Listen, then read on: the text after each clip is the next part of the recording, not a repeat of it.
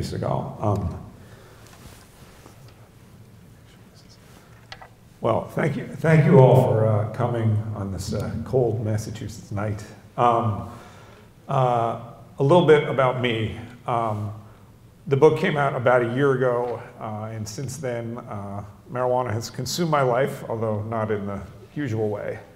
Um, uh, I'm not really the person who should be up here in a way. Uh, I'm, not a, I'm not a doctor, I'm not an MD, I'm not a PhD, I haven't spent my life in public health, I'm not a, a police chief uh, or police officer.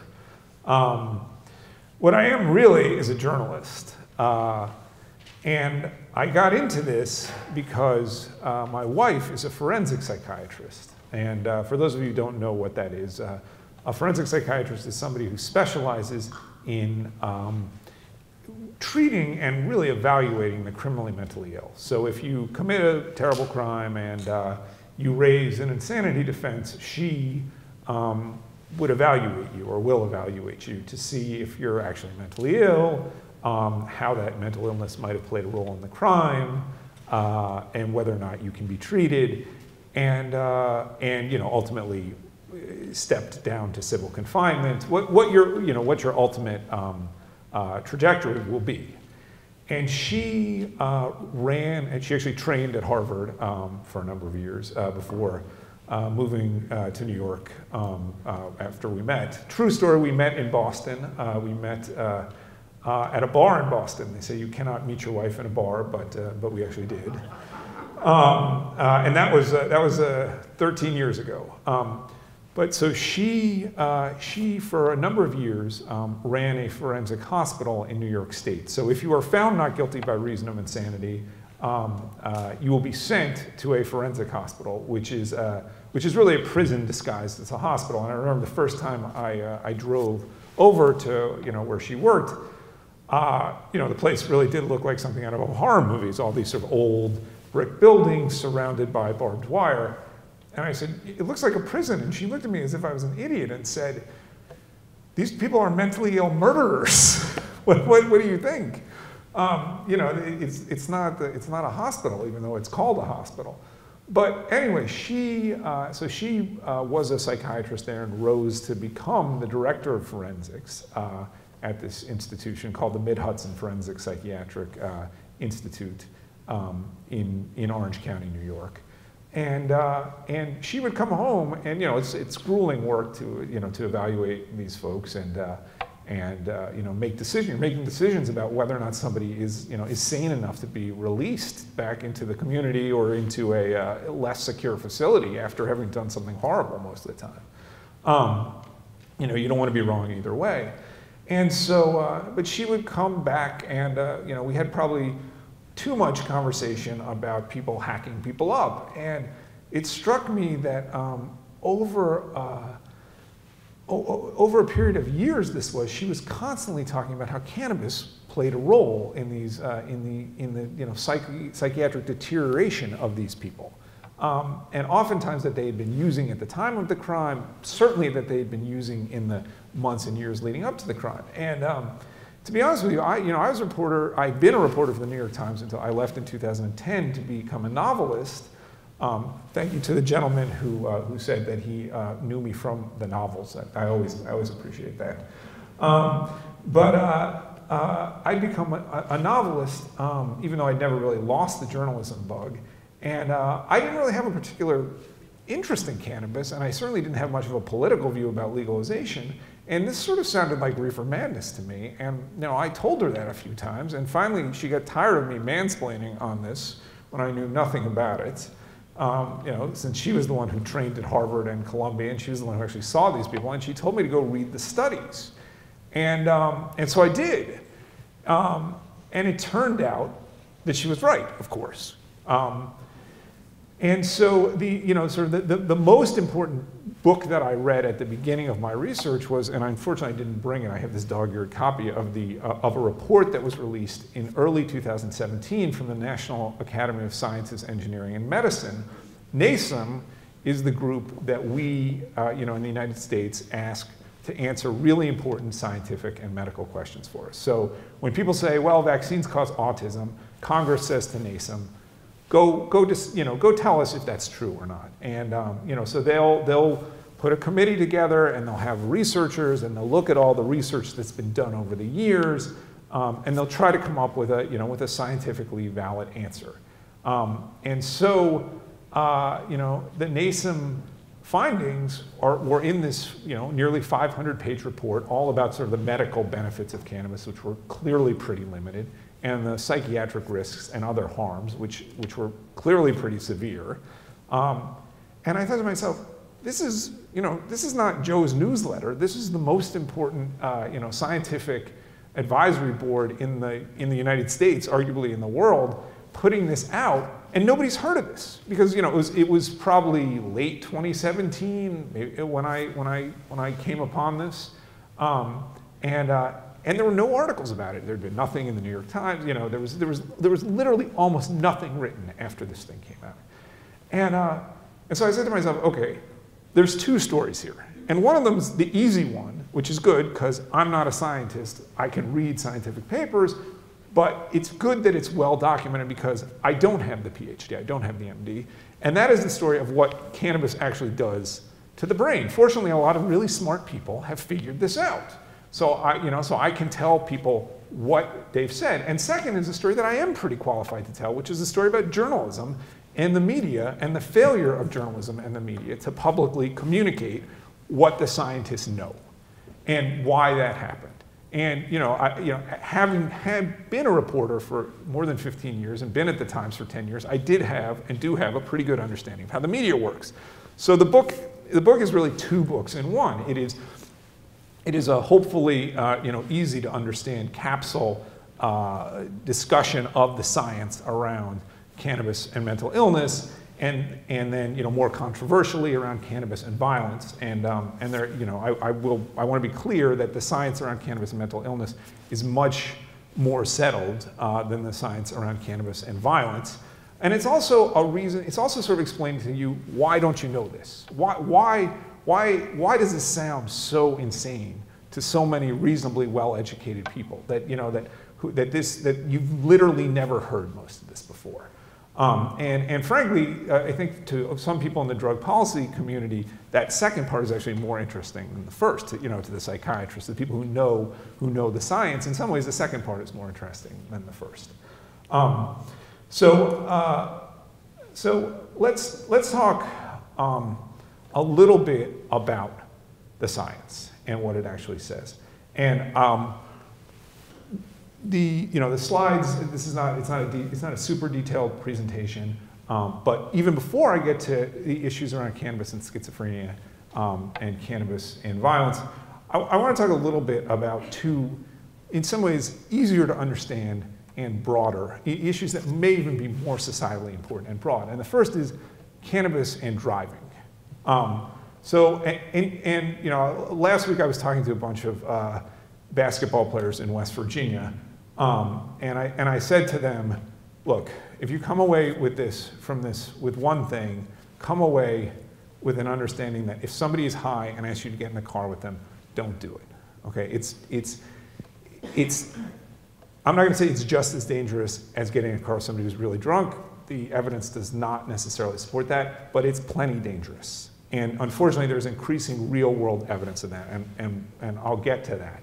And you know, I'd say, unfortunately, there aren't that many kids in this audience. There are some, some you know, teenagers, and, but parents, do not encourage your kids to think of as cannabis as a safe substitute for alcohol for people who are going to be driving. It's, it's just does not seem to be the case. Um, you know, and, and, and there's, you know, as with a lot of stuff with cannabis, in the last 10 or 15 years, things seem to have changed. That um, you know, there was this perception that people just drove really slowly and were, uh, you know, were really cautious and a little bit paranoid and, uh, and didn't get into accidents. And if they did, they were really minor accidents. And that, for, that is no longer the case. Um, uh, you know, I know there was the, the state trooper who was killed uh, here not that long ago, and, you know, and, and ultimately, I, think that case was resolved with a, with a guilty verdict, but not a guilty verdict on cannabis intoxication, which was which is very strange. And um, and one of the you know one of the many problems with legalization is it creates this gray zone for, uh, for driving under the influence, especially because the cannabis lobby has very, very successfully argued that, well, we don't really know, and some people have different levels of tolerance. I urge you to consider what the response would be if the spirits industry said, well, people who are really alcoholics, they can drink at a much higher BAC, or they can drive safely at a much higher BAC than most people, so we can't have a bright line standard. I mean, they would be they would be kicked into the, you know, into the Atlantic if they tried that. But the cannabis uh, lobbies say that with a straight face, and they have been pretty successful. And I don't know if there's a uh, five nanogram per milliliter. Uh, there's not, okay. So there's no bright line standard in, the, uh, in, in Massachusetts, and that's really bad because it means people will use and, um, and, the, and, the, and even if they get an accident, sometimes they can't be uh, prosecuted but it means there's a real misperception around, around cannabis and driving. And so I'm, I'm, I'm leading with that because uh, I think it's really important. And uh, you know, it, some of the science around schizophrenia, some of the science around violence, some of these issues are complicated and controversial. And so I sort of want to I want to set that aside. And the, and the other issue that I want to set aside uh, is to talk about cannabis and opioids. Um, because there is a, there's a campaign out there. I, I, when I was in Denver, uh, I guess it was last year, um, you know, Weedmaps was putting up, uh, putting up billboards saying uh, states that uh, have medical marijuana have fewer opioid overdose deaths. Um, and that they are, they, they, the industry pushes this and it is a lie. Okay, it is, it is unequivocally a lie.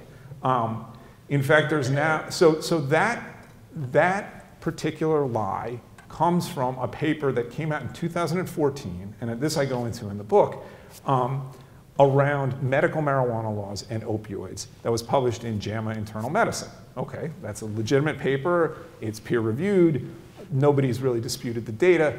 Here's the problem with the paper. So what the paper found, what the, what the research found was that states that had medical marijuana laws seem to have fewer opioid overdose deaths. Okay. Here, before, before I sort of give you the punchline on this, here's the problem with that. Trying to impute any kind of state level changes to something as, uh, as on an issue that's as multifactorial as opioid overdoses from, from cannabis laws or any other single factor is really hard to do. It's basically an epidemiologic no-no. Okay, so, so a state could have a rise in cannabis deaths, I'm sorry, a rise in opioid overdose deaths because suddenly, um, you know, a new trafficker came to the state one year and literally, uh, you know, started offering fentanyl. It could have a decrease because it, it, it had a prescription drug monitoring program in place that was a good one it could have, it could have an increase simply out of geographic um, uh, coincidence, which, by the way, appears to be the, what really happened in the United States in the, in the first uh, decade of the, the, the 2000s and the aughts. The opioid overdose epidemic started in Appalachia and unfortunately, you know, ran up to the Northeast and then down to Florida. Cannabis laws were passed in the West medical marijuana started in the West. Okay, so this groundbreaking paper that, that has been cited hundreds of times and advertised everywhere probably is just a geographic artifact because the data in that paper only goes through 2009. Okay, it's a, it's a decade old, the data in that paper. And, and in the book, uh, a researcher and I tried to update it, and what we found was the effect disappeared. And that researcher then collaborated with a couple other people, and I had nothing to do with the paper that was published last June in the Proceedings of the National Academy of Sciences. But if you read that paper, the 2019 paper, the effect that was found five years ago didn't just go away, it actually reversed. In other words, states with medical marijuana laws actually had more opioid overdose deaths when you look at the more recent data. So so what does that mean? It means probably that there is no connection at all between medical marijuana and opioid overdose deaths. And it, to the extent there may be a connection, it's a connection in the positive sense. In other words, medical marijuana probably drives up opioid overdose. Well, what would the mechanism for action for that be? It probably is that people who like getting high wind up trying other substances that get them high. That's pharmacologically makes sense. It's, uh, it's culturally logical. It's logical in a number of ways. And the best way to track individual drug use is to track individuals and their drug use. And guess what? When you do that, you find that people who use marijuana, if you look at them three years later, are much more likely to be using over, uh, opioids. And people who use, uh, people who have a problem with marijuana, with cannabis, three years later, are much more likely to have a problem with opioids. Okay? And you find that people who use cannabis over a multi-year period, I'm sorry, people who use opioids over a multiple year period and also use cannabis don't report less pain than people who are just using opioids. Cannabis is not an off-ramp for most people's opioid use. I'm not saying it can never happen, because clearly there are idiosyncratic cases where people manage somehow to stop using opioids because of cannabis. But if you look at the data, and the data is what we should look at when we're talking about public health, when we're trying to make decisions about public health, it goes the other way. People who use cannabis are more likely to use opioids later. Anybody who, and, and on a statewide level, there's no association between medical marijuana and opioids. And to the extent there is an association, it's a positive association. So anybody who tells you otherwise is lying. They're lying because they don't know the data and they haven't bothered, or more likely, they're cynically lying because they're relying on a paper that's out of date instead of telling you the truth about what the more accurate science has found. And, and, and one sort of final point on cannabis as a pain reliever. So states that have passed medical marijuana laws generally um, allow the use of pain as a qualifying condition. So I, you know, I, I, I, don't know if anybody in here has an authorization card or knows how that process works, but it is nothing like going to the doctor and getting a real prescription. When you go to the doctor and you're sick, you generally get a prescription for a medicine. You know, you, I, I, go on, I have a sore throat, I have the flu. I get a prescription for Tamiflu. I go, to the, I go to the pharmacy and fill it. I take the Tamiflu, that's it. Maybe I go back to the doctor to see you know, if my flu is resolved or not. Um, if, even if I'm taking something for a chronic condition, like I go to the doctor and I have high blood pressure, um, or, or I have high cholesterol, he prescribes me a statin. I go to you know, the, the Walgreens and I get 30 days or 90 days of that prescription.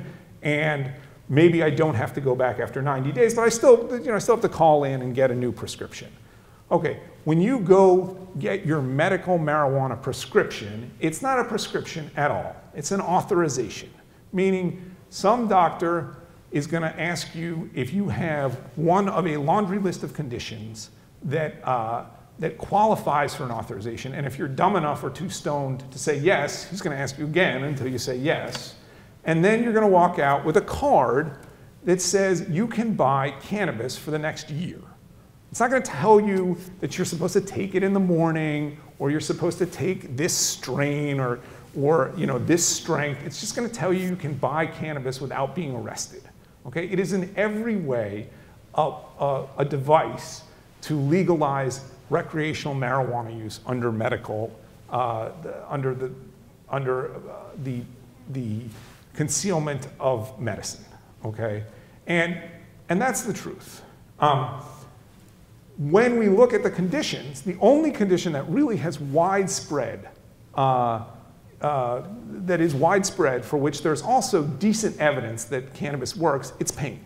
Okay, pain, cannabis uh, if you look at, there's a, there's a, there was a paper that came out in JAMA, not JAMA Internal Medicine, uh, in 2000, I think it was 15, that looked at various studies, and it found that if you massage the data a little bit, you could, you could show that cannabis actually worked as a pain reliever. Not, not smoke cannabis, uh, a THC, uh, and, and, for those of you who don't know, although in this audience I guess most of you do, THC is the psychoactive ingredient in cannabis. It's the chemical that gets people high. Um, there was a THC, CBD, and CBD in deference to, uh, to Judy, who's in the audience, who insisted that I not say that uh, CBD is non-psychoactive. CBD is the non-intoxicating primary chemical in cannabis. So there's a company called GW Pharma. GW Pharma is a British pharmaceutical company that has for 20 years been trying to get um, various cannabis products uh, uh approved by the FDA. It's a real company, they do real research, and they spend a lot of time and money investigating whether this THC CBD blend, which is called Sativex, and it's a spray, it's a nasal spray, or uh, maybe a, maybe a spray in your mouth, I'm sorry, um, uh, could treat pain. Because everyone in this audience knows what the market for a non-opioid painkiller that actually worked would be, right? I mean, given the opioid crisis, you can imagine it'd be tens of billions of dollars. It certainly would be billions of dollars. It'd be a huge market. And, and it is the GW Pharma data that led to this JAMA paper that led scientists to say, okay, it looks like cannabis does treat pain. Uh, or at least this, this THC CBD blend treats pain. Unfortunately, since 2015, there have been more studies done to see if Sativex, to see if THC treats pain, and they've failed. They've failed not against, not against opioids. Okay, cannabis definitely doesn't work as well as opioids to treat pain. And they haven't even failed against things like Advil or Tylenol or over-the-counter painkillers. They've failed against placebo.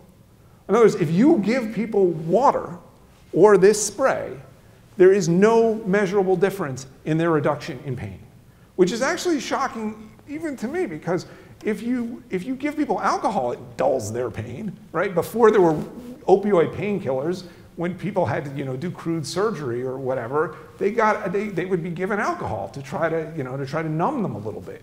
But cannabis doesn't actually even seem to work for pain, okay? I suspect the reason for that is that where alcohol dulls sensation and increases emotion, you know, you, you can think of happy drunks or, or angry drunks, cannabis does the reverse right? It dulls emotion. It sort of puts people, it makes them dissociate a little bit. And at the same time, it improves sensation, which is why people like to you know, use it when they're listening to music or when they're eating or when they're having sex. It, it, it enhances sensation. But if you're in pain, maybe enhancing sensation is not the best idea for you. In any case, cannabis doesn't actually work as a pain reliever, which is probably why it doesn't work to get people off opioids, and is definitely why GW Pharma has stopped chasing this, uh, this pot of gold at the end of the rainbow. They actually don't, they're not even trying to get Sativex approved for pain anymore because they couldn't do it. So if you need any evidence that cannabis and THC are not effective painkillers, that's all you need to know. The companies that have billions of dollars at stake trying to get it approved have given up because it doesn't work. Okay, so cannabis is bad if you drive and it's not, uh, it's not in any way a solution to the opioid epidemic. Um, now, cannabis, mental illness, and violence. So there's a long history of this, and a lot of it's in the book. Um, uh, and I, um, I don't, I don't, I could spend an hour just talking about the major studies. I'm not gonna, I'm not gonna do that. I'm not gonna bore you with it. Um, I'm gonna say two things. I brought copies of the book. This is the hardcover. Um, it doesn't have the bibliography. Uh, some of you may want to buy it, most of you probably won't. I also brought copies of the bibliography. I only, unfortunately, have five of them. If you don't want to buy the book, take a bibliography and see, it's, it's 17 pages long, there's 170 references in it. The paperback, when it comes out in, Jan in February, is going to have the full bibliography in it. It was a mistake of mine not to have it in, in, the, in the hardcover. Um, and see for yourself. Pick a study. Pick two. See if they say what I say they say, and see if they give you a positive impression of cannabis's impacts on mental illness or violence. Um, because, because people have criticized the book for cherry picking, but there isn't, there, I didn't cherry pick. The data says what I says, say it did. It's just that nobody has heard it before and it hasn't been assembled in one place before. Um, and, and again, if you don't want to buy the book, great, but take a bibliography.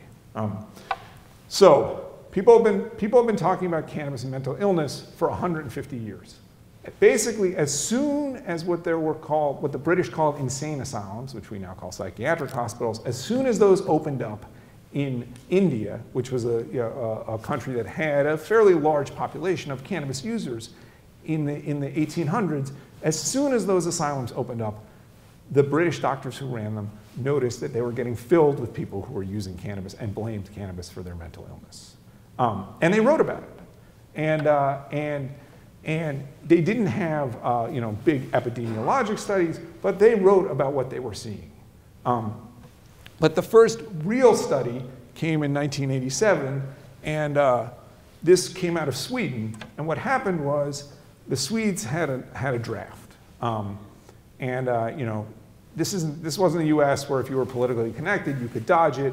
Sweden, every male uh, you know, who was 18 or 19 got conscripted for a year. And they were asked questions about their drug use, um, which they seem to have answered honestly when, uh, when, when people went back and looked at the data. And, and so 18 years after, uh, after the class of 69 had been conscripted, a guy named Sven Andreasson, a doctor, a psychiatrist, a Swedish psychiatrist who's still alive today, decided he was going to look at what had happened to, uh, to that class and to the cannabis users in it, and if there was a link between cannabis and schizophrenia. Um, so, so now I need to backtrack again. Psychosis. What is psychosis? Um, psychosis is the term that people, that psychiatrists use when somebody's had a break from reality. Okay, so psychosis, it could be hallucinations, delusions, hearing voices. Um, they could be visual, they're more likely to be auditory. Uh, paranoia is also a very common feature of psychosis. Uh, you know, in, in, severe cases, people can, can become catatonic, they can lose the ability to speak.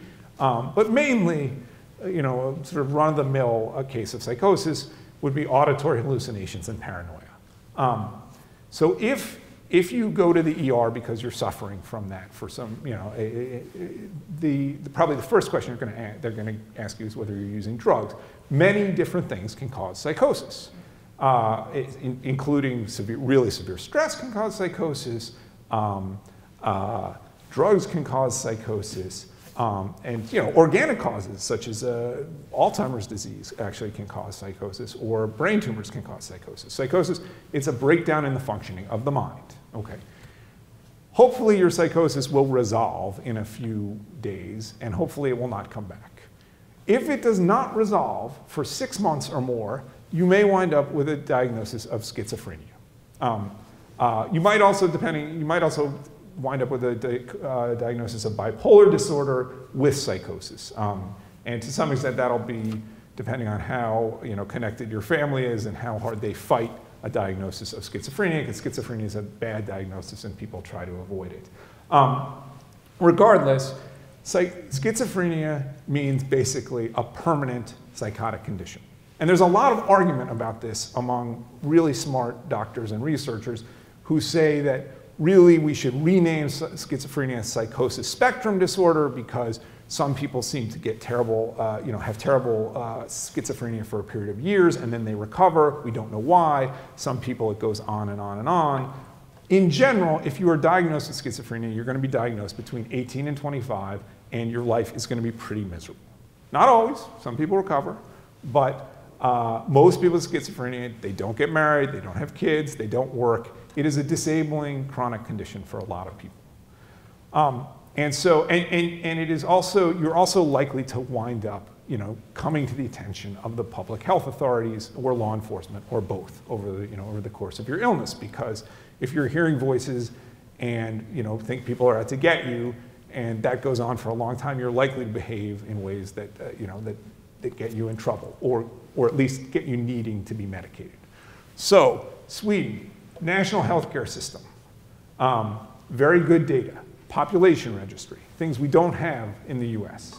So, Dr. Andreasson was able to look at what had happened to people, I think it was actually in 83, even though the study was published in 87, 14 years later, 14 years after they were conscripted. And, and what he found, I'm, I'm really a PowerPoint simpleton, so I make simple slides. Um, it speaks for itself. Uh, if you'd never used, you had a baseline risk of, of one, which I think translated into about half a percent. One person in 200 was later uh, diagnosed with schizophrenia. If you'd used more than 50 times, you had about a 3% risk. Now, that looks really bad. The core argument really ever since this study came out is correlation is not causation. Okay, this is the core of the cannabis um, industry's argument. that this doesn't prove anything. Well, Dr. Andreasson was well aware that correlation all by itself doesn't prove causation. There are two, there's a second argument which I'll get to in just a bit. But so, so he looked at various confounding factors. Did you have a family history of mental illness? Did you have symptoms of you know, depression or other mental illness at the time? Did you have other drug use? And once he factored all those down, uh, or all those out, this ratio went down. Okay, so, so it is clear that cannabis use is confounded by other factors, but it didn't go away. What he found was that if you'd used more than 11 times before you were 18, you had double the risk of somebody who'd used, who'd never used. So, so this, this has been a finding in the literature over and over and over again. Once the, the, the crude risk is off the charts, but there clearly is some self-medication and confounding happening. In other words, it is definitely true that people who are becoming mentally ill, a lot of them will tend to use drugs or alcohol to, to try to make themselves feel better because it probably doesn't feel very good if you are slipping into psychosis, if you don't know what's happening. And, you know, and you start to think that all your friends are out to get you, or you're starting to wake up in the middle of the night hearing voices. And so people do tend to self-medicate. There's no question about that. But even once you account for the confounding factors and the potential reverse causation, you still see a risk. So this is a, this is a really elegant study that came out in 2002. And what this said was, so this, this follows a group of people um, in a city called Dunedin in the, on the South Island of uh, New Zealand. Um, and these, this is about a thousand kids. You know, now they're 50 years old, but they were followed from uh, the early 70s until they're still being followed today, actually. What's so interesting about this is that, is that the scientists were interviewing these kids practically every year, and maybe every other year in their childhood. And at one point, when they were 11, a psychologist came in and asked them about whether or not, you know, do you think your friends can put thoughts in your mind? Sort of prodromal symptoms of psychosis. Do you think, uh, you know, you, everyone's talking about you all the time? So, so uh, questions that, uh, you know, that, that, that hopefully wouldn't alarm an 11-year-old, but would give uh, a professional reason to suspect that maybe somebody was having strange thoughts. So, so, so this is a study that's prospectively collected data, in other words, data in advance of the outcome, where we know what happened. To, we know whether which kids were having these strange thoughts, and we know four years later if they were using cannabis and or other drugs. And so, so again, what you see is that even after you control for the psychotic symptoms at age 11, if you were using cannabis at age 15, you had about a three times the risk of developing either schizophrenia or other uh, lesser psychotic disorders. Um, so, and this came out last year, um, uh, and this has a 5x rate ratio, even after accounting for confounders. So this is out of Europe, uh, and it looked at more than 1,000 people who developed psychosis. Um, they, they were compared to people uh, in the community, and uh, their use of cannabis was stratified along with other stuff. You don't need to understand necessarily all the details of all the studies to understand this. There is a lot of evidence linking cannabis to severe mental illness. And the scientists who've been looking at it have been very careful to look at correlation and causation. Okay, it, there, there is simply no question, by the way, that cannabis can cause transient psychotic episodes. I mean, uh, that, that's, that's enough of a feature of cannabis use that uh, you know, cannabis magazines will write about it. What happens if you get really paranoid? I mean, half the time they tell you to put ice in your hands or eat black pepper or do a lot of other stuff that probably is not going to work if you're really getting psychotic, but I guess you know, they have to tell people something. So cannabis can certainly cause transient psychosis and does very frequently. And it sends people to the ER very frequently. There, the other piece of original research in Tell Your Children is I was able to look at billing data uh, between 2006 and 2014, and what I found, uh, hospital billing data, this is federal hospital billing data, was that the incidence of people going to the ER and being diagnosed with a psychotic uh, disorder had risen 50% in those six years. Um, and the and the incidence of people going to the ER and being diagno- diagnosed with a psychotic disorder who were also heavy cannabis users had tripled. So it went from 30,000 to 90,000. And by 2014, and unfortunately I have not run the data to see what's happened since 2014, um, although I suspect things have only gotten worse. By 2014, there were 90,000 times in the United States, so that's about 250 times a day, when somebody went to the ER and was diagnosed with a psychotic illness and was a heavy cannabis user. And about one and a half percent of the population is a heavy cannabis. By heavy cannabis user, I mean somebody who was diagnosed with cannabis use disorder. So, so that's 11% of the people who showed up in ERs, less than 2% of the population. So cannabis can definitely cause transient psychotic episodes. There's no question about that. Um, whether or not it can cause schizophrenia, I would say, I would say the evidence is quite strong. I would say there are legitimate questions about that. Okay, there are people who can argue that it's not going to permanently make somebody schizophrenic who wasn't going to become schizophrenic before. I don't, I don't agree, but, but that's a legitimate case to make. Um, that, that, you know, that, and, and, and by the way, now that we have the sort of all this case control data, all this epidemiologic data, the best argument for that is, well, hey, you know, Alex, all these people are smoking. You know, we've seen so much more cannabis use in the United States in the last, uh, you know, 15 years. How come we haven't seen a huge increase in the number of people diagnosed with schizophrenia? That's a good question. The answer to that question may be that we don't know who, uh, how many people. I mean, we, the answer, we definitely don't know how many people in the United States get schizophrenia. So it may be that the number is actually increasing and increasing significantly, and we just don't know it yet. And there's some fragmentary evidence uh, of that, but uh, you know, I could spend another 10 minutes talking about that, and I've already been up here for more than half an hour. Um, so, so I'm not going to go.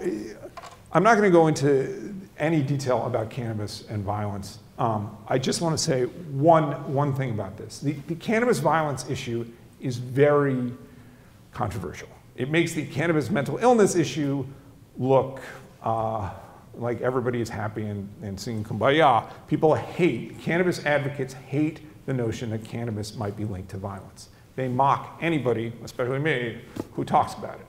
However, there's good reason to believe it's true, mainly because we know. Oh, so by the way, this, I should have shown you the slide already. Here, that's the NASEM paper from 2017. In August, the Surgeon General of the United States said higher doses of THC are more likely to produce anxiety, agitation, paranoia, and psychosis. Marijuana use is also linked to a risk for and early onset of psychotic disorders such as schizophrenia. That's not me, that's the US Surgeon General. Okay, and, and I believe that in years to come, this is going to be viewed as the equivalent of the 1964 Surgeon General's warning about tobacco and cigar- uh, tobacco and lung cancer. Okay, we're going to look back on this and say he was right because he is right. Um, and unfortunately, 64 didn't settle the question because the cigarette companies spent a lot of money on marketing and hiring friendly scientists and PR, and they, and they basically muddied the waters for 20 years. And then it took 10 more years for us to do something about it. So it really wasn't until the 90s that, that we really mounted a response to cigarette companies. And I, I, I hope that you know, in 2049, we're not still fighting about this. But unfortunately, we might be because there's money on the other side. And, and the idea that you can trust uh, cannabis companies or, or the people on the academic, you know, in academia who they sort of bought off or ideologically, uh, you know, convinced that this is not a public health issue, but a, you know, but a issue of uh, social justice or the other things they like to say about it, um, we may still be arguing. But this is what the Surgeon General said. So, lots of studies about, about cannabis and violence. Here's, here's just, if you take away one, one point on the cannabis violence issue, it's this people with severe mental illness, people with psychotic disorders, are unfortunately a lot more likely to be violent than the general population.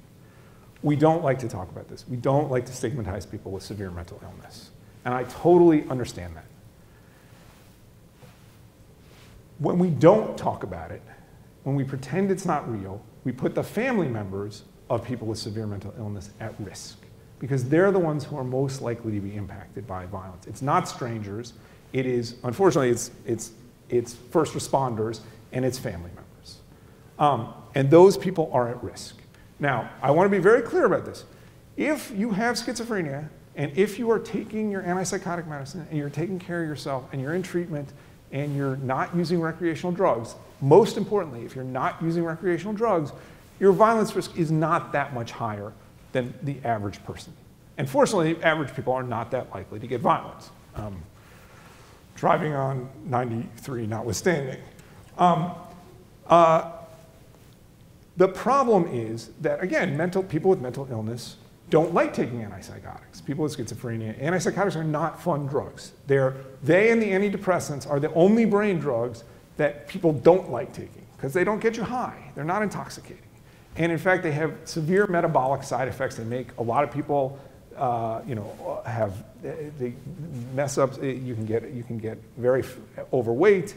You can have uh, you know glucose problems. You can have diabetes.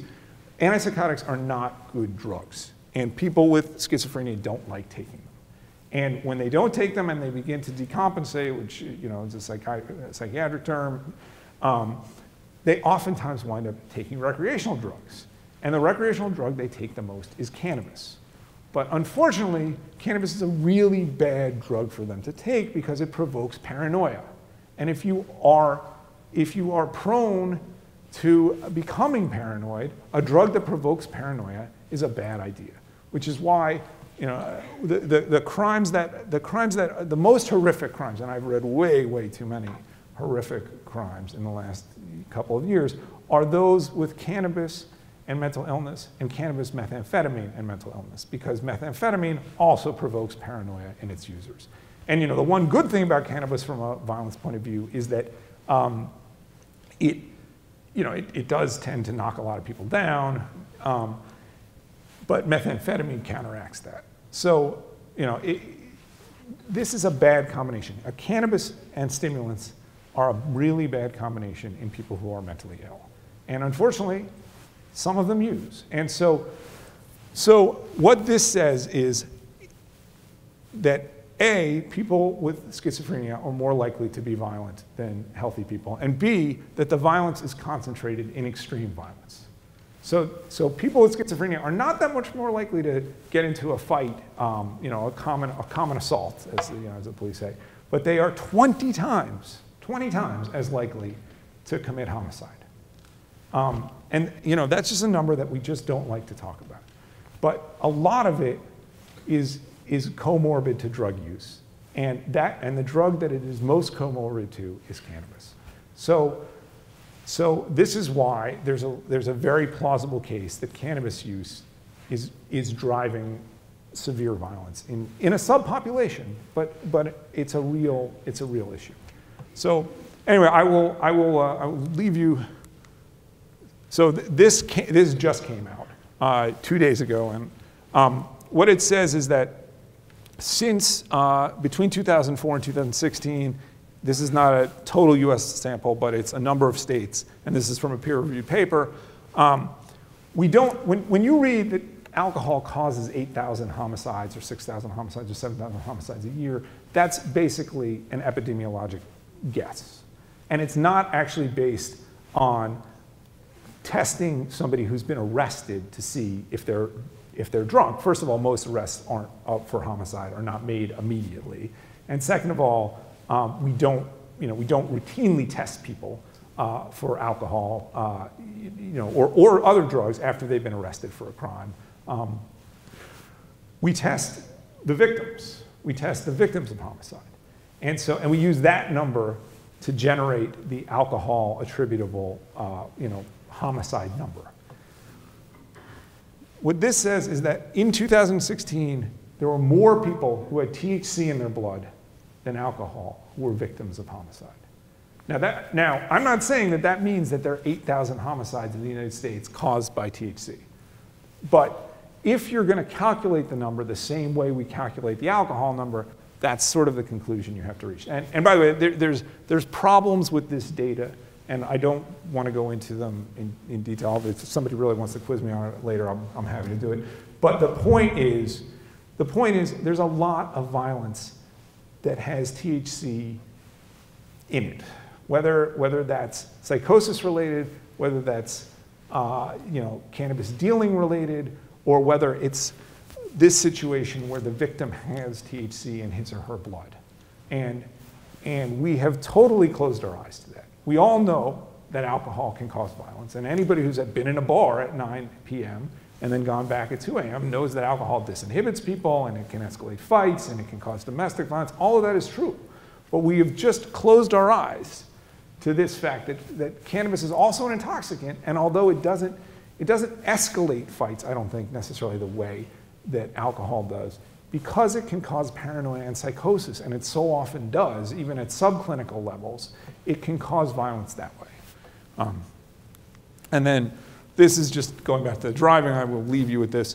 Uh, there were 500 more driving deaths in the first four states that legalized in 2018 than 2013. Um, now, overall, uh, driving deaths did increase in that time, but not nearly as much.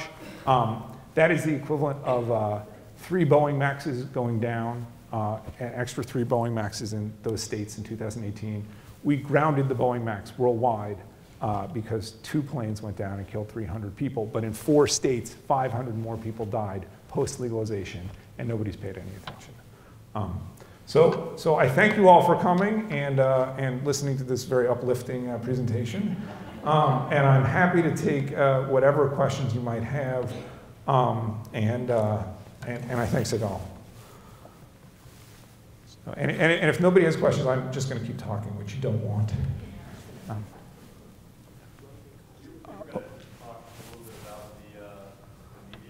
oh, sure.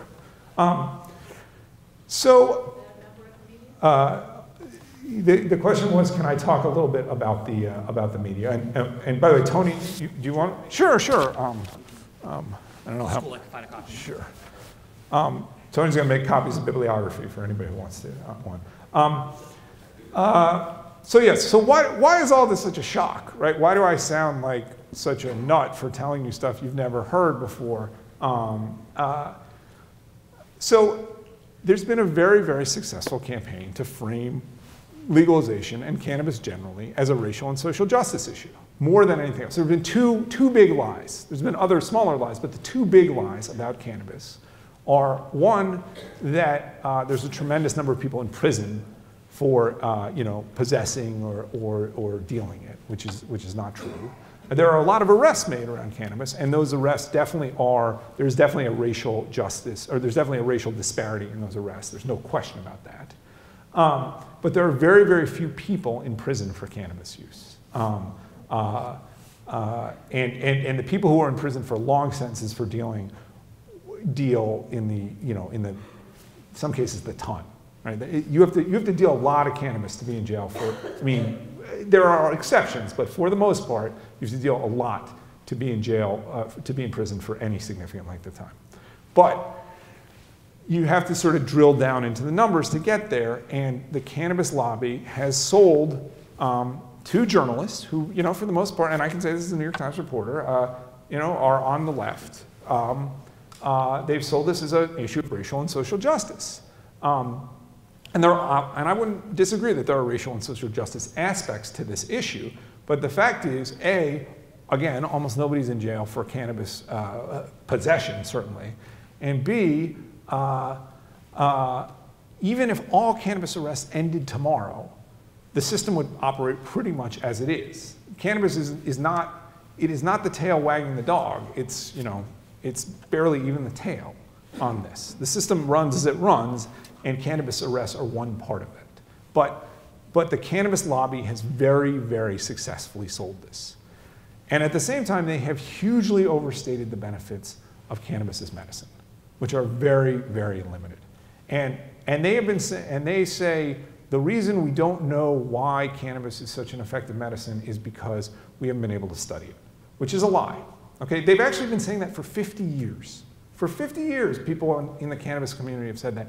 First of all, yes, it is at this point, it's not hard to research cannabis. You know, it's so hard to research it, that, the, that the University of California has two centers for medical cannabis research. But even when it was hard to research in the US, it wasn't hard to research in Britain, it wasn't hard to research in Israel, it wasn't hard to research in Europe. And so the reason that cannabis isn't, doesn't seem to have a lot of medical uses is because it doesn't have a lot of medical uses. It's, it's a plant that gets you high, okay? It's an intoxicant.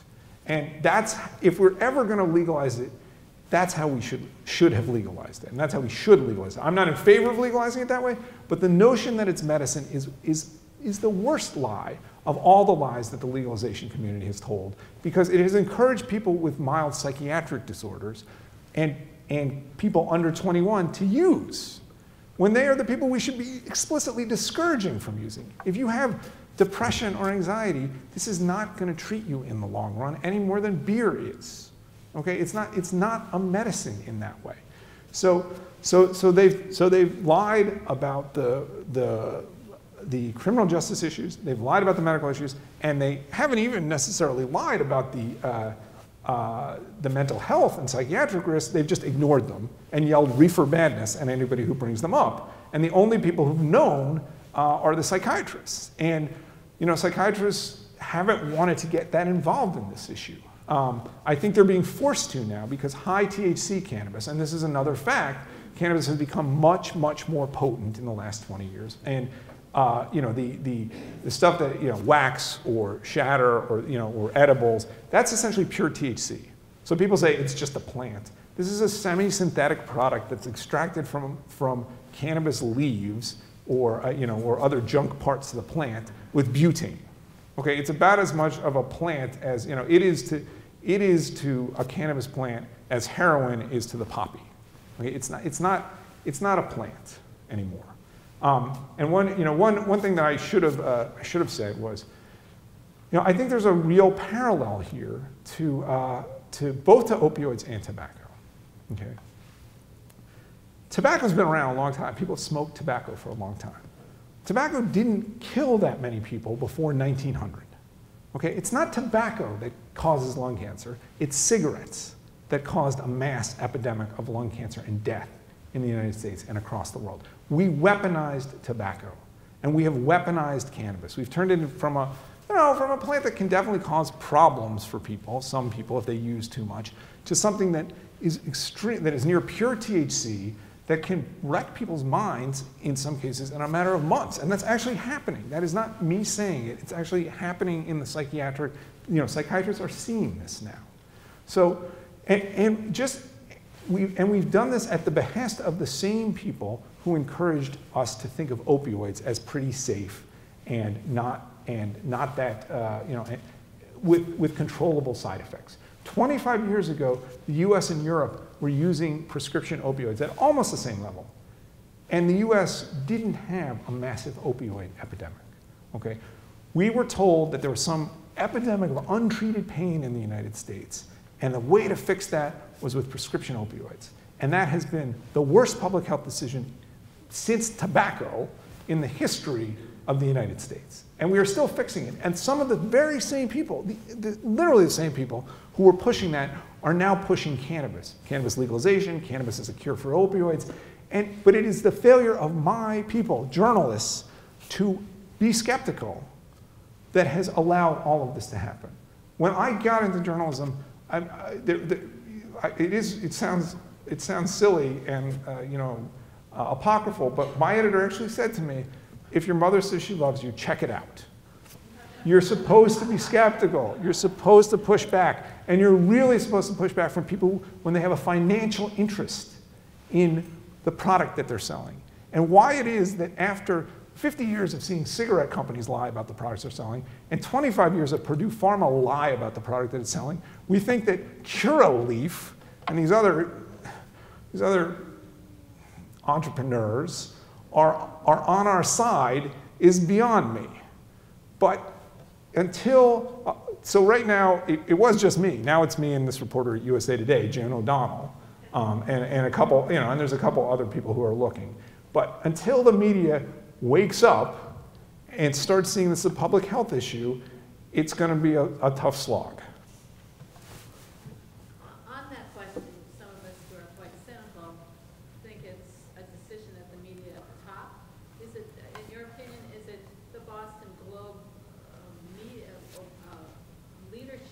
or the uh, WGBH leadership, or is it the individuals that they've hired in order to cover the seat who are young and contemporary or whomever? So- So, so is it a combination? It's, it's, I mean, it's not, it's not as if, you know, the editor of the Globe is, is saying, you know, is taking payoffs from somebody and, you know, and deciding, it's, more, it's more, it's more just, it's a little bit of advertising and a lot of ideology.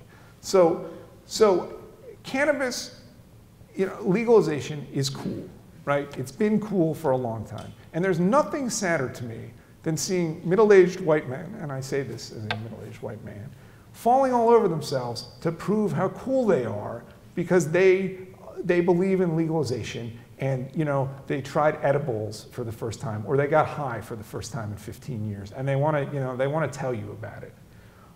My secret weapon in this fight is i don't care what you say about me and i don't need to prove that i'm cool to you. I know what the science says and it's more important to me. But there are unfortunately a lot of middle-aged white journalists white men trying to prove their cultural relevance here. And and and you know and when you combine that with the you know it's sort of like the 20 somethings who, uh, you know, who I call on Twitter, you know, much to, it doesn't make anybody happy, but I call them the journo children because they don't have children. They don't really, and they haven't really, you know, covered crime or war or anything serious, and they may use occasionally. Um, and, you know, and they did go to, you know, a lot of them went to fancy schools and they, you know, they sort of don't really know anybody whose lives have been blown up from use. Um, when you combine the sort of middle-aged white guys with the journo children, you get a lot of people who don't really know what the science is, who think they're a lot smarter than they are, writing stories that are nonsense. Thanks for your talk tonight, Mr. Harrison. I was first introduced to you on C-SPAN and last winter. I saw your interview. Excuse me. I was impressed. I went to the library and got the book. My question is, have you had an opportunity to run this information by Dr. Elinore McCance-Katz, the Deputy Secretary of Health and Human Services? So, so that's a great question. I have not talked to uh, Dr. McCance-Katz. I know that she's read the book, uh, actually, because Jayne O'Donnell mentioned to me that she had.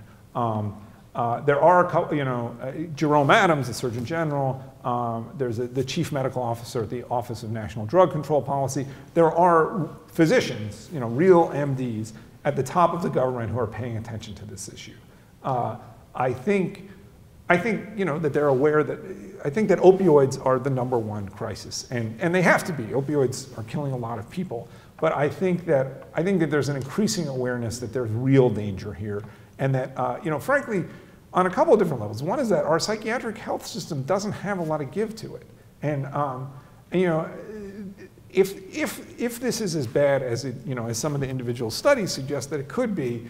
Um, we, we really are headed for a very you know, expensive, painful crisis that's going to wreck a lot of young people's lives and wreck a lot of families. I mean, one, one thing about psychosis is it really, and schizophrenia, it destroys families. I mean, the, the stories that I hear from parents, you know, people say, well, the worst thing that can happen to a parent is losing a child to opioids. It's actually not true. The worst thing that can happen to a parent is having a child become so mentally ill that they wind up on the streets and waiting for the call that, that you know, he's killed somebody else or killed himself. And, and you know, that, that, is, that, that is a, those are tragedies you know, that I can't even comprehend as a parent. And you know, I think there's awareness out there, but right now the public health authorities are so focused on opioids. Sorry, sorry let me give to. Jan Summit, Jan Katz? Uh, yes, I know that she's. I know she's come. Yes.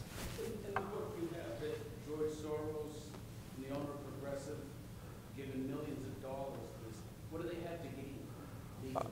Uh, I think it's an ideological issue for them. Um, you know, Soros is generally uh, pretty liberal, and uh, he sees it as a criminal justice issue. Some of the other uh, big donors uh, are users, um, and they and they haven't had problems with it. Uh, you know, Peter Lewis is famously a user. So I, I, I, I tend not to. You know, I, I don't think it's greed for them. You know, there, there are certainly people in the industry who are very greedy, and um, you know, for better or worse, it looks like a lot of those people are not making the money that they, I mean, I, from my point of view, it's for better. They're not making the money that they thought they were going to make um, uh, because it turns out that if you legalize, you have two choices. You can either run a really restrictive regime uh, like, like Massachusetts does and California does, and in that case, you get undercut by the illicit market, or you run a pretty permissive regime like Oregon does and Colorado does. In that case, prices go way down. Um, so either way, the licensed operators actually have a fairly hard time um, uh, making as much money as they thought they were going to make. Um, but, but you know, I, I think Soros just, I think he's a, he's a very liberal guy. He's very into criminal justice reform, and he views this as a, as part of that. Um, uh, oh, sorry. United States and Great Britain are culturally uh, similar. And you cited in your book that uh, in 2001, um, the push for legalization of cannabis was roughly plus 55, plus 50 percent. And 10 years later, it's at roughly 30. Why, why is that happening and why is that not happening in the United States? Um, I- you know, I think again, I think the the industry and the, the Drug Policy Alliance, other Marijuana Policy Project, they were very well-funded groups that um, that figured out how to message around this, and they did so aggressively. Um, and and and it's it's also true that in the UK there is this you know there's this group called the Institute of Psychiatry, Psychology, and Neuroscience in London that talked a lot about this issue. Um, and so, you know, people, people do pay attention. I, you know, I, I, I hear a lot, and I'm thinking about sort of writing a, uh, if I write a follow-up book, it will not be about cannabis only. It will be sort of about the bigger issues around drugs and, uh, and drug, you know, reform and drug legalization. But there's this idea that we can't stigmatize. You know, that's a big thing. We don't want to stigmatize anybody who uses. We don't want to discourage use because that stigmatizes people who use. Well, we stigmatized cigarette smoking, and that really worked. And we stigmatized drinking and driving, and that really worked. But somehow we can't stigmatize cannabis use. Um, you know, God, God forbid we tell people that they shouldn't smoke or that they might become mentally ill if they smoke or they might, you know, forget, forget the violence thing, or that, you know, that it's not really that safe to drive or that it's really not safe to do in your teens. Um, we, you know, we don't want to we don't want to discourage the little darlings, but we do tell people they shouldn't smoke cigarettes, and they listen. Um, you know, vaping notwithstanding, vaping. Unfortunately, it's pretty clear that you can push people. You can push people to do, you know, Juul, very effective, very cool. You can push people to do stuff that's cool, and you can push people away from stuff. And we seem to have forgotten that lesson. Um, and we certainly have forgotten it when it comes to cannabis. Uh, so, you know, I, I don't know how long it's going to take for the pendulum to swing back. I don't know how many people are going to have to be destroyed. I, I hope it's not that many. Um, you know, unfortunately, the experience of cigarettes suggests that it can take a long time, um, and a lot. You know, there can be a lot of consequences before people uh, start taking them seriously.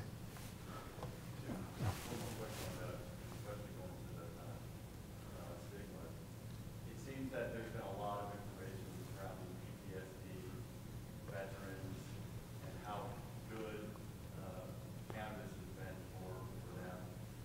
And it's almost turned out, I've had a chance to talk to some individuals younger, uh, they almost see that as a moral kind of victory, and it allows them to kind of, um, you know, say, well, yeah, but did you know, this is the the science right now for these individuals, what would you say to that?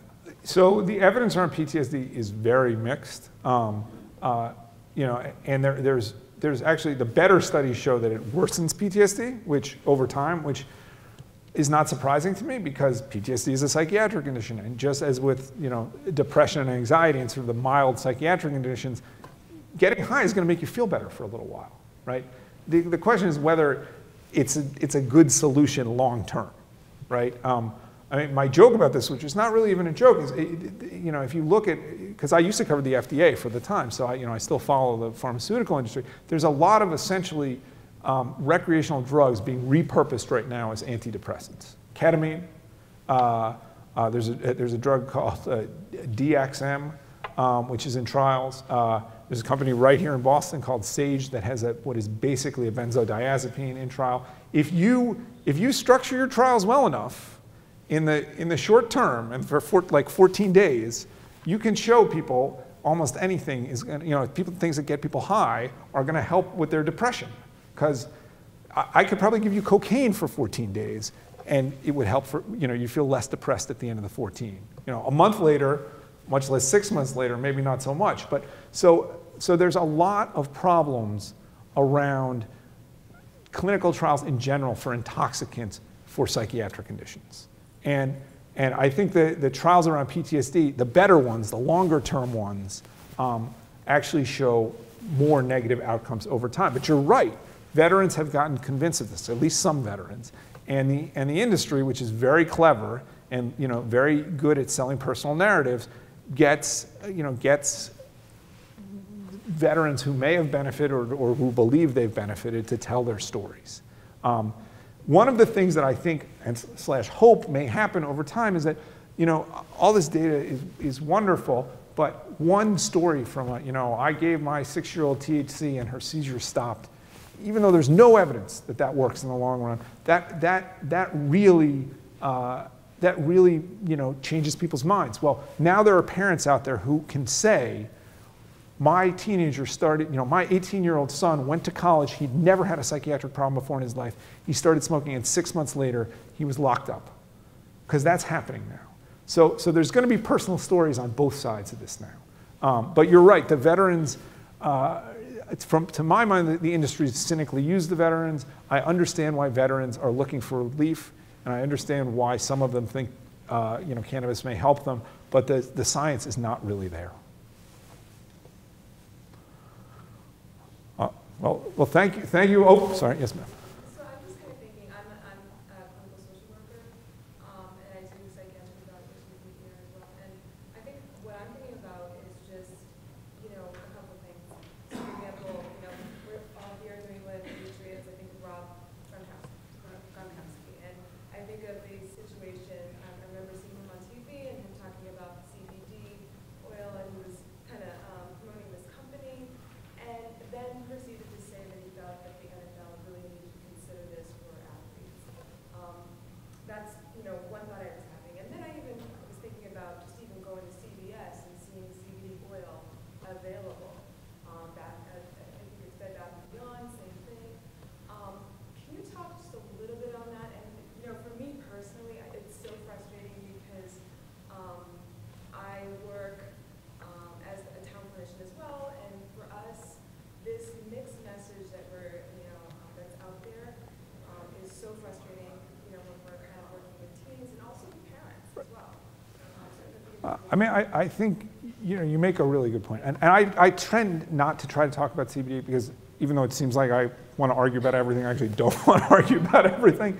But but the industry is incredibly cynical about this too, right? So CBD is not THC, right? And and people who are using cannabis and THC are using it to get high, okay? But the industry will look at um, and when I say the industry, I mean the for-profit companies. I mean there's places like Marijuana Moment. You know, there's all these newsletters, Leafly, these places that, that exist as sort of amplifiers of, of the, the industry that are supposedly semi-neutral journalists. So a study will come out, and it will, in some cases, literally be on rats. So you give, you know, you give CBD to rats, and then you run them through a, a maze that's designed to test their anxiety, and they seem to have less anxiety. So that gets reported as cannabis shown in lab studies to improve anxiety. Not CBD, not rats, cannabis shown to improve anxiety. And so, so when, you know, when grandma or mom is at CVS and sees the, you know, CBD oil, and then her 18-year-old son says, yeah, yeah, I'm getting high every day, but like, it's helping me with my anxiety. She, you know, she may be much more disposed to, to agree to that. You know, if he said, I, you know, I'm, I'm, I'm waking up every morning and, you know, and doing two shots of vodka before I go to school because that helps my anxiety, you know, she wouldn't put up with that, even, even if it did help his anxiety temporarily. But, but cannabis, THC, CBD, they're confusing to people. People have mortgages to pay, people have lives to live, and they're getting a lot of bad messaging from the media, and so they don't have the they don't have the, the knowledge or the resources to push back necessarily until it gets bad. Um, so I you know I don't have a great answer for you because the CBD horse is sort of out of the barn, right? It- it- you know, and I, I think I think if the FDA had its way, uh, there'd be a lot more testing required on some of these products, and there'd be a lot more. Um, uh, there'd be uh, there'd be a lot more restrictions on the messaging, but they're they're they're struggling to catch up. And from my point of view, THC is so much worse. So I mean, THC is really psychiatrically damaging that I you know I, I can't focus on CBD, but I agree with you. It's a it's a problem. I wanted to follow up on that and ask about THC. So you talk about how the potency is so much higher now than before. What do you say to the millennials who say to you, oh, but all those samples from the seventies have deteriorated, so they can't really track the THC? uh, THC? Yeah, it's. It, it's. Just nonsense. Um, I mean, it's, I mean, it, you know, it's, it's, it's just not true, right? Contemporaneous accounts. People, people have known how to test THC content since the 60s. It's not hard. You, you know, you get a, a gas chromatographer, for, and you, which I probably just mangled that, but um, you, you, you run it through, and you see the various chemicals in the leaves, right? Um, and and and the, you know, I, there's this notion that somehow the stuff was old and decayed, and the University of Mississippi didn't know how to test for it. It's nonsense. People people have known how to test the THC content of cannabis for a long time, and they've done it. And cannabis wasn't very strong in the in the late 60s, early 70s. And by the way, there was stronger cannabis, right? Users are very aware of what they're buying. So there was a premium placed on cannabis grown in Colombia or grown in Thailand that had higher THC content. Even in India, in the 1800s, before they knew what THC was, they knew that some cannabis was stronger than other cannabis. They had different names for it. And they agreed, by the way, that what they called bhang, the low potency cannabis, ditchweed, st- you know, seeds and stems, was not as likely to cause mental illness. That resin, which, you know, uh, which, which they call ganja, resinous cannabis, and, and hashish, which they call charas, were more likely to cause mental illness. So, it, they're, so these people are just, they're just wrong, okay? They, they, you can, sometimes I go, sometimes it's very frustrating to me because this is one of these lies that, that anytime you say this on Twitter, 18 people will say what you just said. And, it, but it comes up in various forms. So, so I'll say, there's a new study out of Canada where they looked at 600,000 births and they looked at the mother's cannabis use in those births. And they adjusted for cigarette use and social economic status and stuff that affect birth weights and NICU visits and fetal death. And they found that cannabis use uh, was statistically significantly associated with an increase in all of those things. Okay? This is real research. And somebody will say, what about the Jamaican study from 1994? Okay, the Jamaican study from 1994 is so bad that MIT magazine, Science magazine, last year actually wrote a whole piece about it, telling, uh, and I didn't even know all this stuff. This looked at 44 children. Okay, it was done by a, a, a, a, a sociologist who went down to Jamaica, and it is so bad on so many levels, it would take me another hour just to walk you through all the problems with it. But even if it weren't bad, it covered 44 people in Jamaica 25 years ago. We have a study from 600,000 people that came out last year. Those two things, it's not like this, it's like this. But people always have an answer. And I, I mean, I, I was, I, I was saying this to Segal before we started. The saddest part of this for me, so I was a New York Times reporter, okay? I was, uh, you know, I, am a registered political independent. I, you know, I tend to lean Democratic. Um, as I said to the governor of Nebraska a few weeks ago, I said, I've been in rooms with more Republican office holders than has been healthy for a New York Times reporter this year, okay? So the saddest part of this for me is realizing that this, to some extent, is the left's version of climate change, okay? Not that it's as serious as burning up the whole planet, but it's a very serious issue with real consequences for a lot of people. And the question is, when the science doesn't agree with your ideological position, what do you do? And the left always says, we're the ones who care about science and truth. Except they don't care about science and truth about this because it's painful for them to admit that there might be real problems here and that legalization, if it comes at all, should come with really strong warnings and public health messaging and maybe shouldn't happen at all. Okay, so, so, they, so instead of confronting the real issues, they just want to shout at people who bring them up. So, in, back in January, the DPA, this is a year ago, this, this is when all this started, I said to the DPA, the executive director of the Drug Policy Alliance, this is, we had this long email conversation. What warnings do you think are appropriate here? And you can think of specific warnings that might be appropriate, like if you've used cannabis and become severely paranoid, you shouldn't use again. That could be a sign that it is affecting your brain in really negative ways. If you have severe mental illness in your family, do not use cannabis. Do not use cannabis as a treatment for psychiatric disorders. Like, there, there are things we could say, even if we're going to legalize, that would make sense. But the DPA didn't want any of those. They are afraid because legalization hasn't happened yet that if they tell people the truth, it won't happen. And that, as far as I'm concerned, is too bad. It's not a reason not to tell people the truth. Uh, I'm a mental health counselor, and what I've noticed is that my patients that, I don't prescribe, but my patients that use marijuana to treat their anxiety or trauma symptoms, even if they're meeting with another prescriber, like a psychiatrist, that's not the doctor prescribing the cannabis. They're seeing somebody else entirely. So I guess I'm wondering where the psychiatrist's voice is in this argument.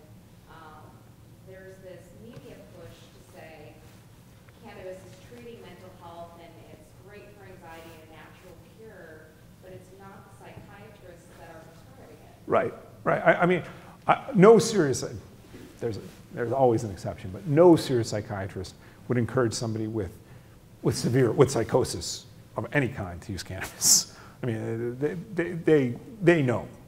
Um, uh, you know, would they, would some encourage people to use it or say it's okay for people with anxiety and depression? Not, not the ones like my wife, not the forensic psychiatrists, right? But you know, there, there might be some out there who, who who, who would be okay with that. But no, you're right. For the most part, the doctors who prescribe cannabis um, are they're, they're a tiny fraction of the medical profession. So most doctors don't want to write these authorizations, and some states actually collected data on this. Um, uh, in Oregon, uh, you know, which this was before legalization, uh, there was one doctor who accounted for 35% of all the authorizations in Oregon for the first decade. These are people, they make a volume business out of it. You know, look, I, I, I really respect doctors. I do. I mean, you know, married to one, like I see the training that they go through, but, but, but there are a few, there are bad doctors like there's bad everything. There are doctors who've lost their licenses or are on the verge of losing their licenses for substance abuse or other problems. There are doctors who, you know, just are burned out. And, and some of those people go into the business of writing these authorizations. And, uh, and they do it, and, and some of them truly believe. Some of them are, some of them honestly are old potheads who truly believe that this is a magic, and, uh, and they, and they want to write authorizations. But, but when I say the vast majority of doctors, and certainly the vast majority of psychiatrists, aren't interested in doing that, th- the statistics bear that out. Uh, by the way, you know, if you don't mind my asking, what do you see with your patients who use? Do, you know, do they manage to keep their use under control? Um, No, I, sitting reflecting tonight, I'm thinking about how a lot of them say, well, I'm sober except for the marijuana. Um, There's this expectation that I'm cool with the marijuana use, and it's kind of off the table and not part of the discussion.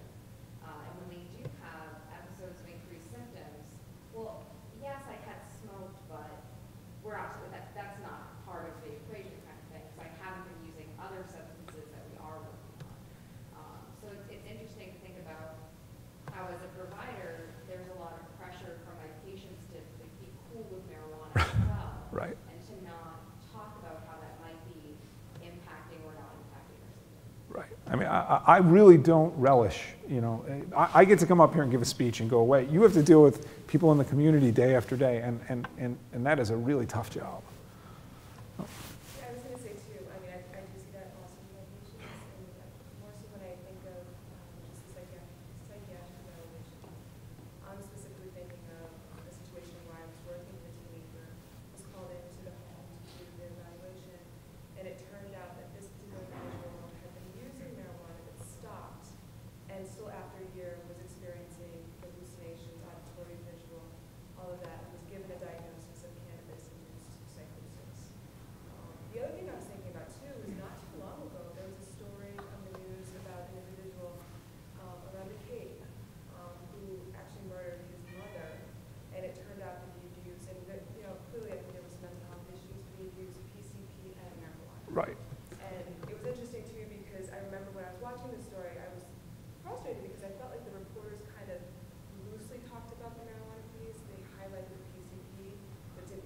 uh, reported.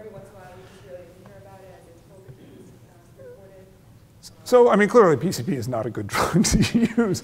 Um, I, I will say that oftentimes uh, when people say it's laced, it's not laced. Now, th- now in this case, the person might well have been using both, but, but um, you know, high potency cannabis, certainly wax and shatter, those will get you as high, you know, you do not need K2 or spice if you're using those, uh, those drugs, um, and certainly if you're using a lot of them. And so the, the amount of PCP out there in the, in the, if you actually look at sort of like US government statistics, it's, it's, it's minimal right now. LSD also. And, you know, the joke psychiatrists have is that if you want to get, some- and I think I, Amy may have heard me say it before, but uh, if you want to get somebody uh, to get psychotic, you should lace their LSD with the THC.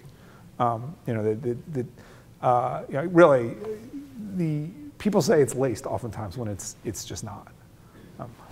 I thought there was a, maybe a question over here. Or, um, Have you been asked to speak in the states like Massachusetts, a referendum state? And of course, you know, we followed the whole uh, procedure in public health and prevention with medical and then so, so, years later with uh, commercial. So sadly, I usually get to speak, it asked to speak in red states. Um, I don't, I, you know, I, um, it, it's been a real revelation. You know, who, who has me on TV? Fox has me on, right? You know, MSNBC won't have me on. NPR will not have me on. I mean, eh, you know, regional NPR uh, stations have had me on a couple times, but I was supposed to be on a national NPR station out of, uh, show out of Boston, and they canceled on me after making it with me because they said, quote unquote, they disagreed with the methodology and conclusions of the book. Now, first of all, I think anybody who hears me speak at length is going to be hard put to say that I'm some crazy. Second of all, if you disagree with me, have me on. Challenge me. I will take any question. You know, ask me who paid for the book. I'll tell you who paid for the book. Simon Schuster paid for the book. Ask me, you know, ask me about the studies. Ask me why I got into this. Ask me whatever you want. I'll answer it. They wouldn't have me on. So, so the, you know, the, the, the center-left media has really not wanted to deal with this, and they've really not distinguished themselves as far as I'm concerned. And, and to some extent, that's happened, that's happened with the think tanks too. You know, I've spoken before the Hudson Institute and AEI and all these, you know, right of center think tanks, but the left center ones, they won't have me, you know, they won't have me come. The Aspen Institute, TED, all these places that are, you know, supposed to be about free and open discourse, they don't want me on. So no, it, it's, uh, this is, I underestimated the amount of political polarization around this issue. I, I genuinely, look, I knew there were going to be people who didn't like the book and weren't going to like me, but I thought the media would look at me and say, I was one of you, I still am one of you. I was a reporter for the New York Times for 10 years. I did not leave in disgrace. I left because I, I wrote a number one best-selling novel and then wrote 10 more, okay? That's why I left the New York Times, no other reason. Like, I would think that they would have me on, but they have not wanted to. Um, and that's been a source of frustration. And uh, yes, And we found that throughout the Commonwealth, it's a systemic thing. Public health institutions, hospitals, you're not alone. I I mean, I think Harvard is starting, there, there are people at Harvard who are starting to push um, uh, a little bit, and that's good. And, you know, and Harvard's certainly a great brand, and it certainly does great work. And, uh, you know, to the, to the extent that the psychiatrists and the addiction specialists and the MDs get involved, the sooner that happens, the better. Um, uh, and, and I think it's starting to happen, but it's just a slow process. Oh. Thinking about context when you're talking about Massachusetts, and then thinking about um, teenagers and vaping, the vaping crisis and the media coverage that's happening, like recent- in the last six months about how vaping causes deaths and how that's actually, in high school I work at, has decreased the usage of vaping. But for the side effect, kids I think are turning to marijuana because now they're looking for another thing. Um, so how would you think about, what do you think should happen in terms of how this is messaged to teenagers? Because obviously, like, the don't do this has sort of worked with vaping. Um, so how could this message? I mean, it's, it's, it's a, it's a, it's a good question, right? And, and I think, you know, there is this balance not so much with stigma. I'm, I'm fine, honestly, as I said, I'm like the last person in the United States who's fine with trying to stigmatize things and discourage people from doing them. It's just when all the messaging is so positive, if you tell people the truth and you don't walk them through it all, um, they'll just tell you you're crazy. Like you're just, you're just making it up. So you kind of have to walk them up to it. You know, you don't want to, you don't want to say cannabis can cause schizophrenia, even though that's, you know, I would say the weight of the science is there on that because it is so, it is so out there to people. Um, so, you know, can you tell people, hey, there are, you know, this is, this is an intoxicant and, you know, it's like, it's like, it's like alcohol and you should think of it that way and you shouldn't think of it as a, uh, you know, as a, as a treatment. Now, some kids are gonna be like, I know it's an intoxicant, I'm high on it right now, right? So I, can you tell people, you know, what you've been told about driving in cannabis is not really true, that it can, you know, I mean, I think that's a message that might resonate. I, I'm not, I'm much better at diagnosing the problem and giving you good solutions. Um, uh, but, but I, I, I do think this idea that people won't listen to, to people who clearly have their public, to have their health at, at interest. And you know, you're not some law enforcement officer, you know, you're not, you're, you're, you, I assume, want to do what's best for them, and I assume they know that. And so, so maybe you can, you can get some of them to listen just by being honest about some of the risks. I, I don't know, but, but I do know that stigma works. I do because, because it worked for cigarettes and drunk driving and fetal alcohol syndrome and domestic violence. We've stigmatized domestic violence in this country, and, and my understanding is that the, you know, it's, it's less common than it used to be. I mean, all forms of violence are less common than they were 25 years ago. So maybe methodologically you don't get there, I don't know.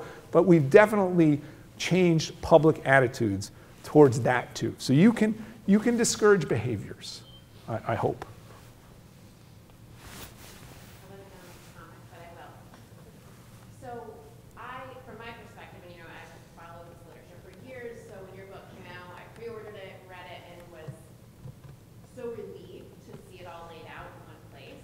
Um, you know, you did have to do that. Um, to me, the, the science is so clear on this, that it is criminal that our state has legalized without notifying the public of the risks.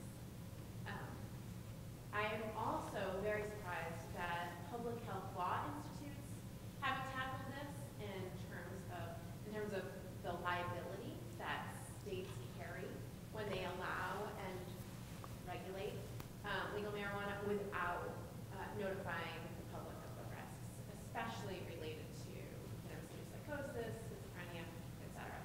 Um, I mean, I think that's an interesting point. I, I think, uh, you know, there, there are some trialers out there who are sniffing around this. I don't know that you could, I mean, I don't know the law about this, whether you could sue a state for a change that the voters have decreed. I would suspect that sovereign immunity protects a state from that.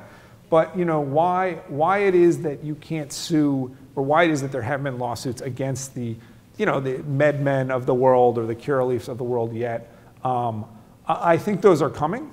Uh, but they may not, it's not cigarettes yet in terms of the money.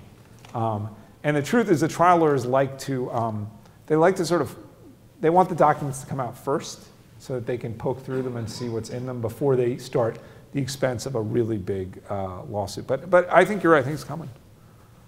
There are two class action suits that just started in the last two months on the CB, on the CBD thing. Somebody sent me that. One that- is CV Sciences in Nevada, which is being sold here at the compounding pharmacies. And the other one, I'm not sure what it is, but they're class action Right. suits right now on on CBD. CBD. And um, the the attorneys are now saying that, um, because of the interstate commerce, it doesn't matter if it's going interstate, uh, those RICO laws are definitely applicable, and the attorneys are just waiting for the customers to line up. Huh. So it's, it's gonna happen. Hopefully. And being a parent, my kids are older now, but, um, I know that, uh, with their, with their executive function, they don't see or believe, oh, well, that's older, or schizophrenia, that probably wouldn't be me. But, um, when we would talk to kids about their ten percent, the difference between an A and a B with the stuff that Norvalco had with alcohol, and, um, you know, m- one of my sons to lacrosse, like your physical performance with athletics.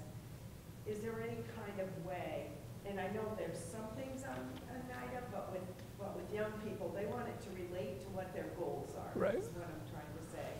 So is there anything that you found that, that we can use with youth in simple messaging that comes across as, you know, kids that, that we used to say binge drink on the weekends, you know, their learning and memory goes ten percent, and that's an A and a B, or your music, your memory, your notes. I mean, I, I, I mean, it's clear that cannabis causes societal disadvantage, right? Heavy use, right? I mean, but to some extent, I, you know, I didn't talk about it in the book because I think we all know that, right? You know, th- this idea that you're the, the stoner who doesn't get out of your, you know, parents' basement until you're 30. Um, uh, you know, I, I, I think, unfortunately, that for whatever reason, that has not scared um, kids off. Uh, you know, I, why that is, a, I don't know. I mean, clearly, this is an addictive drug for a lot of people. Just you know, I mean, it's it's all you know, it's not as addictive as heroin or cocaine, but but it's it's addictive probably in the way that alcohol is addictive, and the high THC stuff might be more addictive than alcohol. And um, because it doesn't have you know so much physical liability associated with it, you can basically you know use it all day every day, and uh, and you sort of forget what it is not to be high anymore. Um, you know, there's a there's a, a book coming out in a few months that I got sent an advanced copy of called Pothead by a guy who was like a very um, you know very heavy user and sort of one of these he's a very smart guy, okay, and so was able to use basically all day every day and um, and functioned and became a cannabis journalist, okay and um, actually went on Jeopardy, believe it or not. He quit for six weeks before the Jeopardy competition. It was like six weeks of sobriety, and he won a couple of times. It's all in the book. Um, but, but you know, the, uh, the, the other 20 years of his adult life, he was high all the time. And it definitely impaired his, you know, psychosocial development.